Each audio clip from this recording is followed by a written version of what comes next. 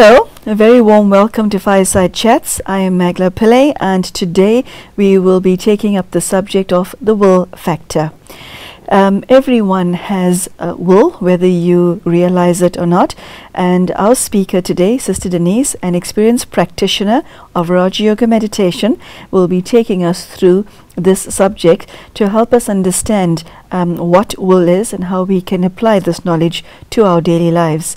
In this series, we look at a variety of subjects surrounding spirituality and, more importantly, how one can deepen one's relationship with God. Sister Denise, a very warm welcome to today's show. Thank you. The will factor. Um, what does that mean? It's a very interesting way of phrasing the title. Will, you can also talk about willpower. What is exactly the will to apply your will to something?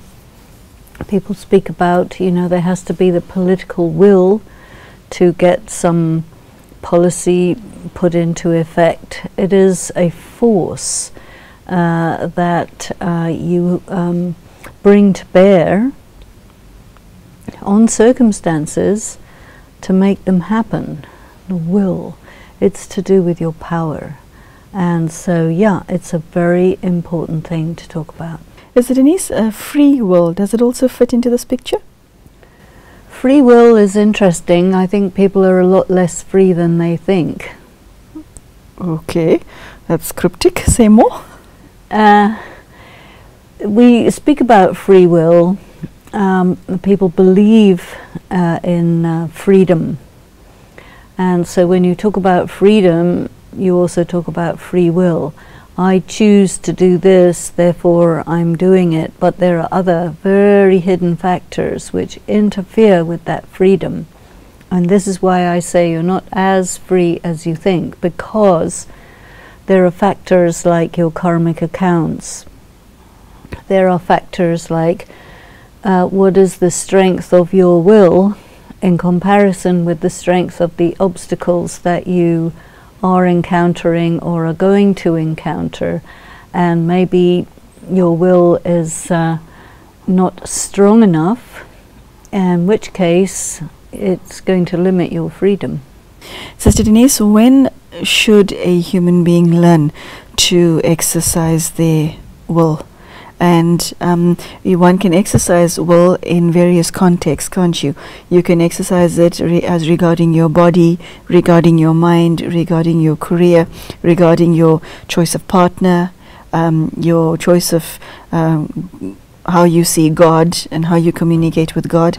Um, how does one go about um, exercising one's will in all of these various departments, um, especially if um, if you're born into uh, uh, life circumstances where um, you don't even know you have such a choice? Well, I think there's a difference between choice and will. Oh, you do? Yes. Okay, tell us what that is. Uh, because Um, there are many who use those two terms interchangeably. Right. Okay? To me, will is a, is a force. And you say, okay, I will do this. And somebody else comes along and says, no, you will not. You know. Mm. And so it's not really a choice, it's a matter of whose will is stronger. Mhm. So I, I look at will in terms of personal strength. And uh, choice is that there are choices, and some people they don't realize that they have the choice, and uh, then in that case they need the education to know you do have the choice, you have to make the choice, you have to apply your will to the process of making a choice. So I still feel there's a difference between making a choice and applying your will. Uh, the other area where you hear about will is in addiction, uh, where In, sorry, in? Addic- addiction. addiction, okay, yes. Mm. Because Sorry, can I interrupt you there, Sister Denise? Any type of addiction? Yeah. Okay, okay, proceed.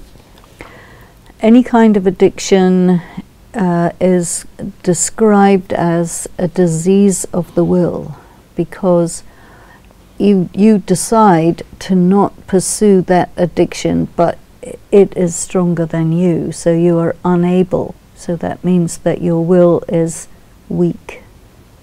And you hear sometimes about people being weak-willed, where they ought to do something by applying their will and they just don't because their will is too weak. And that's a little bit um, connected with this whole question of an addiction uh, connected with a diseased will. If you have somebody who's strong willed, they decide this is what I'm going to do, and they will just push through any number of obstacles that may be in the way. So there would be the sign of a strong will. I choose to do this, and um, you do not brook any opposition, you see. In terms of spiritual practice, it's very good to um, develop the will because you need to apply your will, uh, which is connected with determination that this is what I'm going to accomplish. And there may be resistances, there may be obstacles, oppositions to prevent you. But if your will is strong, then you will actually get through all of those things. So I think that, okay, you make a choice, but to actually fulfill your choice, there's this whole other energy of will that you apply to it. Hmm. Okay. Now, Sister Denise, um, one can't wake up one fine day and decide um, I will now exert my will with uh, with full gusto. Um, there are a lot of virtues and qualities uh, that stand behind um, somebody who has a weak will, and conversely, somebody who has a strong will. Isn't that so? Yes. Okay, so how um, how do you establish where you are at in the first place, and um, uh, if you realize, and it's a difficult thing to come to terms with, that you are weak-willed, uh, how do you develop it so that uh, you're a person of strong will? How do you make the transition? First of all, I think that you can wake up one morning and say, okay, I think I'm going to have to exert my will on this situation. Okay, which means that you realize that thus far um, you haven't been as strong as you would have liked to have been. Um, maybe that, or maybe you just didn't get it that it's a matter of applying your will. Maybe you thought, you know, things will just happen by themselves, and they don't. You need to apply your will. That means you have to, you know, go inside and collect your strength. You know, there is something called coming into your power. Yes. And I think that's connected with um, your will. Uh, because once you have found your power and uh, aligned yourself, then you claim your power, you apply your will. This is what I'm going to do. It's also connected with being very clear. So, yeah, several things uh, come together there. When you're doing the right thing, and when you're following your conscience. By right thing, I mean you're doing actions which are um, having positive consequences for you.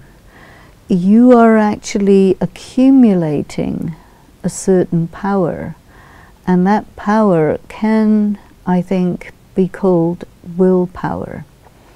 Because as you accumulate it, you start following your conscience, doing the right thing. Gradually, something is happening, and one fine day, it's as if you're able to grab a hold of it and really start to live your life the way you want to, rather than being sort of at the mercy of circumstances and the goodwill of people and things like that. So it is almost as if it's one day to the next, Mm-hmm. because perhaps there's a uh, critical mass or a critical moment where you just make that shift from weak to strong. Okay. Okay. And Sister Denise, the, the virtues behind uh, somebody with a strong will, how, what will their their makeup be like? Their personality makeup. Uh, they'll uh, have a lot of faith in themselves, Mm, and that's they'll a have. beautiful quality to be able to have faith in yourself. I think also they'll be very clear about what they what they want to do, and they will have a lot of faith that their um, discernment is right, and they go for it. You know, all these things line up. The person will not have self doubt. They will not vacillate. They will not. Uh, ask people is this right is that right you know they will be so with themselves that they'll go for it and i mean it can be a um, negative quality you do hear people say oh this is a very willful person that means they insist on doing the wrong thing and they do so, if your uh, willpower is lined up with a good power of discernment and a clear uh, view of what's in front of you and your, your conscience and everything, that's really good. But, um, you know, a lot of people uh, go off in the idea of being convinced that they're right. was not um, anything other than an ego problem. And so Mm. if you have a strong will and a big ego problem, that's a problem for everybody else. Um, I'm glad you mentioned that because my next question is Is it ever okay to exert your will on another human being? Um, and by that I mean um, person's A's life is going this way and you think, uh uh, it should go this way. Is it ever okay to do that? Well, I mean, you have to look at it case by case, but I think that, um, you know, if a person's life is going in totally the wrong direction, um, you using your will to make them go in another direction is probably not going to be strong enough. And by the Ah. way, it's also not your business. By the way, yeah, uh, except that um, we one of our favorite pastimes is to stick our nose in other people's business, is it Yeah. not? That's not a good thing to do. That is No. not the dignity of a high quality person. Yeah, that's powerful. Yes. Um, you know, Sister Denise, the reason I asked you this question is because if it's a loved one, um, whether that person is 20 or, I don't know, 70, we think, um, uh, you know, I want to do what's best for my sister, my father, my grandfather, and so I will decide this, that they should do this because, well, I just think I'm right and they're wrong. The thing is this you can suggest, there's this expression, you can, you know, take a horse to water, but you can't make him drink. And I think that, uh, yeah, you can say, okay, this is what I think is a good idea, but then it's up to the person. Hmm. Uh, you stated earlier that one can wake up one fine day and decide that I need to exert my will in a stronger fashion because I'm not happy with the way I exerted my will in the past. Okay? Um, what, explain to me on a practical level, not thought but in reality level, um, what does it take to um, not just uh, think it but put it into effect in, in your life. Uh, in certain cases, the exertion of one's will requires some behavioral change. Well, yes. Is it a question, Sister Denise, of sitting down and thinking it, you know, from beginning till end, or just um, say, uh, I've decided now I'm leaving home, I'm walking out of here, but and, and I'll see where I'll go. How far should you go in your decision making process? Well, it's very individual, very much case by case, but um, you know, you have to analyze your situation and uh, see, you know, what we call the the past, present, and future. Have a look at the trend of things, you know, and is it going where you want to go? And if you don't do anything about it, it's going to go over here, So then it's your responsibility. So, you know, taking this into your hands and saying, I choose not to go there, you have to use what we call in Brahma Kumari's firm, determined thought. Mm. Um, on a previous episode, you mentioned the eight powers that one acquires in the practice of Raj Yoga meditation. Which one of those eight powers or more would you use in this, um, in the exercise and the increase of your will? Well, I think a very impo- important one would be the power to face.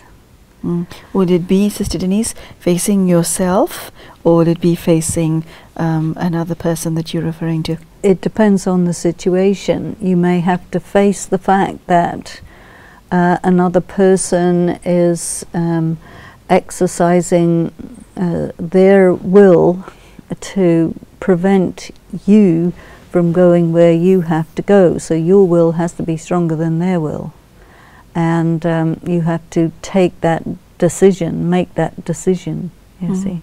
Mm. Because, I mean, there are conflicts that occur in this world, and somebody says it's got to go this way, somebody else wants it to go the other way.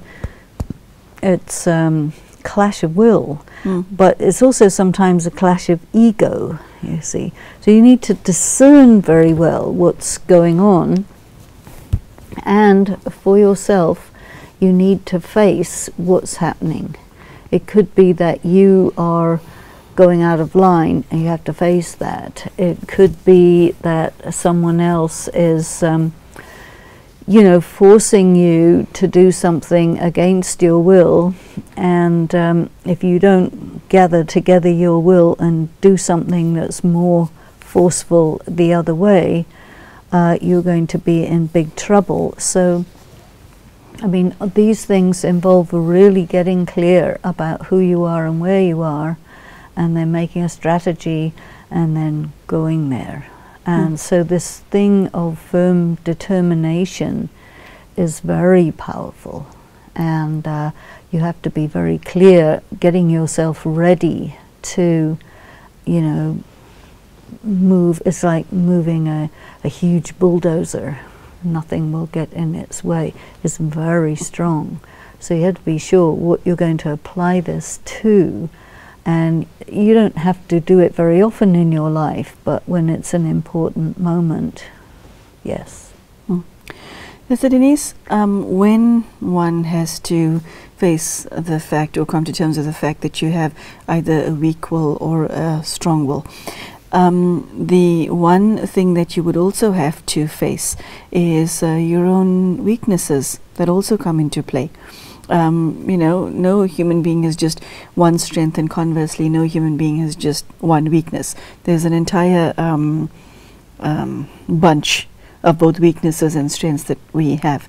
So, um, how does one um, in the cauldron of weaknesses. I decide I need to exert my will, um, but what do you do with other aspects of your dark side? Because um, uh, one weakness leads to another weakness. If you okay, um, I want to say it in in this context. Um, the reason one could not have exercised one's will in the past is because of fear.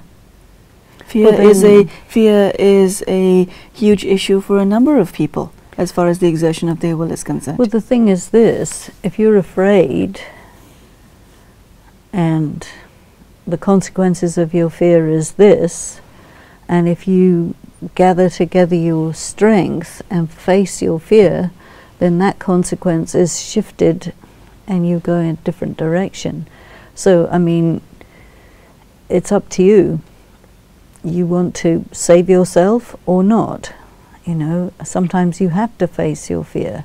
Um, do you want to save yourself or not? Is that the criteria one uses? well, you know, I'll tell you something. Every so often in my life, I've been in situations where it's either me or you who's going to survive. And I've always found that I choose myself. And um, and I think that I'm quite comfortable with that, you know, because there are times where you know it's kind of almost like a Russian roulette situation, and um, I I think to come down on the side of the self is a good thing because ultimately you're an eternal immortal soul. And if you don't root for yourself you're done for and so if you discover that when push comes to shove I take care of me I think that's a sign of a strong will Okay, now, Sister Denise, um, God um, is um, inviting God into one's life, a sign of uh, strong will. I think inviting God into one's life is a sign that you are ready to put aside your ego. Hmm. Um, let's talk more about that. Um, to what extent does one's ego um, limit you as far as your um, freedom to think and act is concerned? Well, are you are you can you ever be free as long as you have ego? I think that very often the ego will masquerade as the will. Oh, um, an example of that is I want this in I way, want yes. that, Yes, and but yes. it's the false I.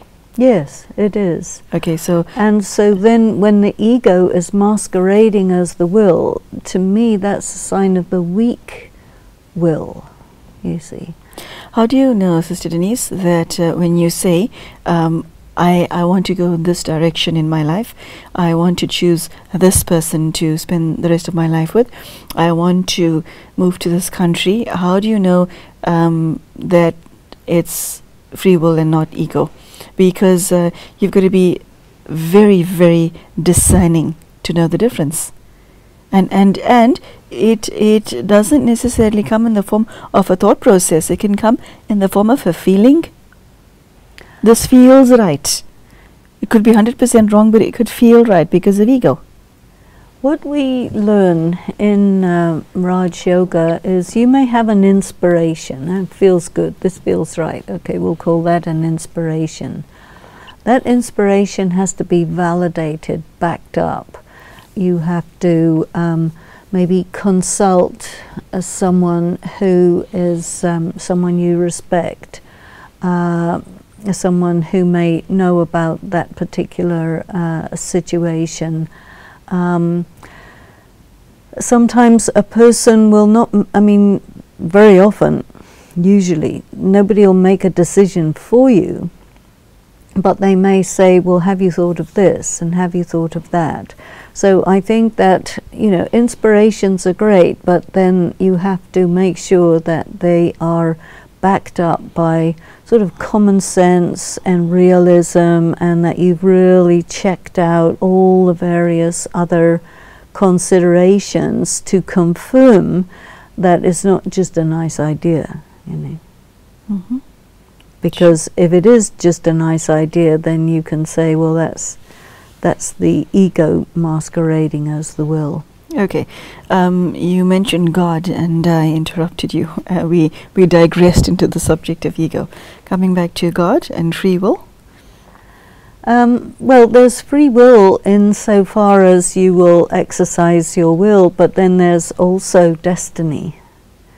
And uh, God will be uh, kind of watching to see how well you are able to discern is the way open for you or not? Um, because there are moments where you literally have free choice. Uh, but there are not many moments.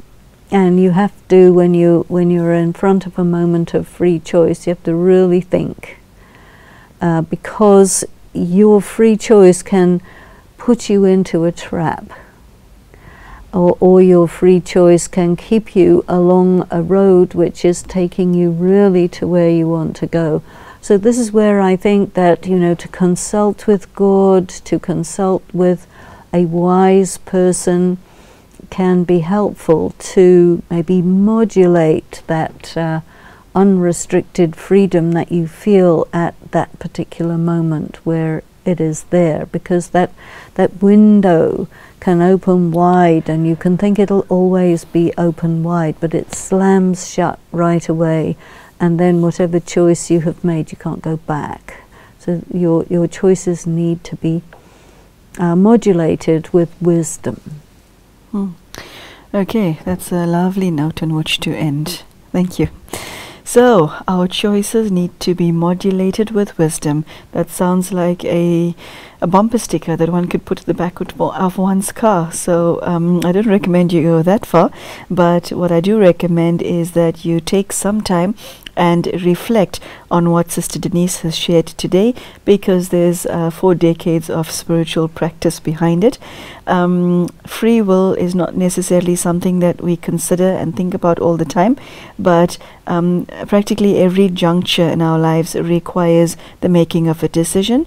And if you're weak, uh, your decisions will um, not be in your favor. They may possibly harm you. And if you're strong, then uh, the exertion of free will will uh, work in your favor. So, a very powerful message from Sister Denise, and I hope this has been of some benefit to you and your life. Thank you for joining us, and I hope to see you soon. Goodbye.